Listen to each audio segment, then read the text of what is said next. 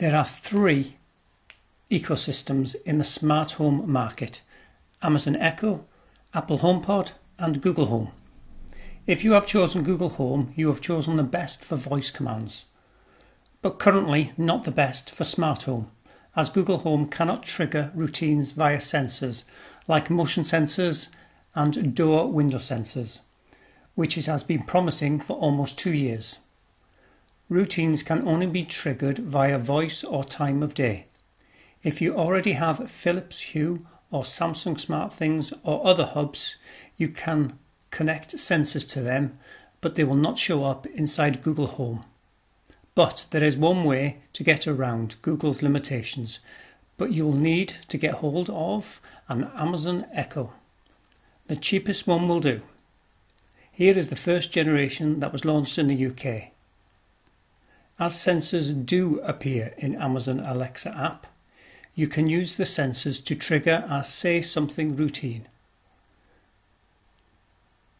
They can then be used to tell your Google speaker to run a routine like turn on the lights or play music.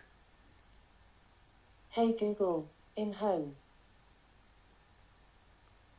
Hi, welcome home.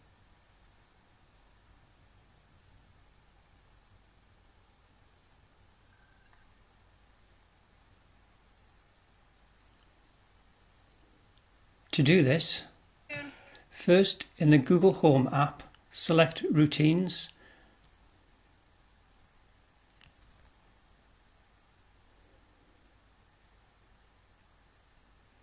and create a routine. I've already created one called I'm Home.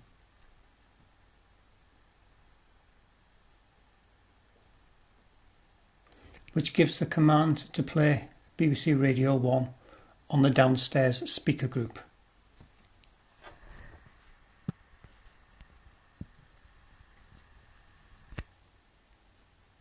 Then open up the Alexa app.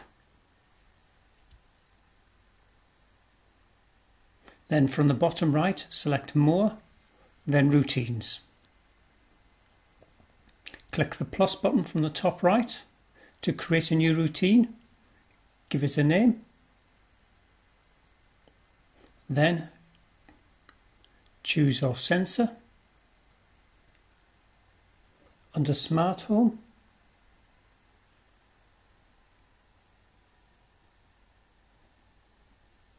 Change it to detected. If you want, you can select the days of the week and times that you want this action to happen.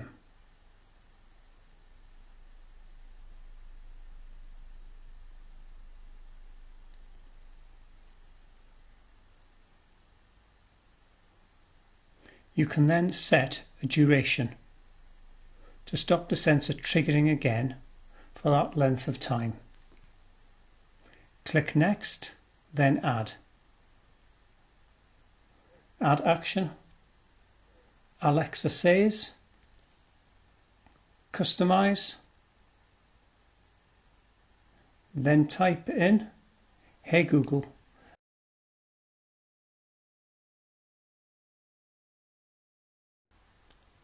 And then the Google routine name.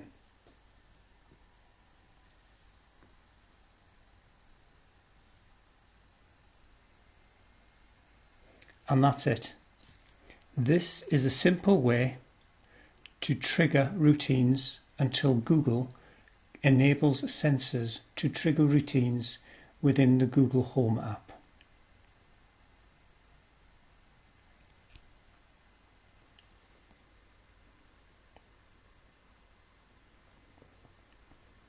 Hey Google, I'm home.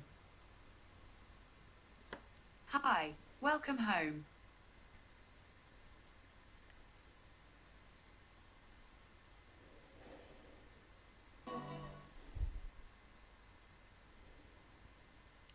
With my Philips Hue sensor, that was a quick look at how to set up triggers via sensors within the Google Home app, but you will need an Amazon Echo to set it up. Any questions, any comments? Leave them down below.